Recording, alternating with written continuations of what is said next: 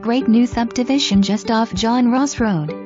Lot 7 Grand Oak Estate Subdivision. Large, beautiful oaks, winding streets and ready to build on. You can choose your own builder. Call for a plat and a copy of covenants and restrictions today.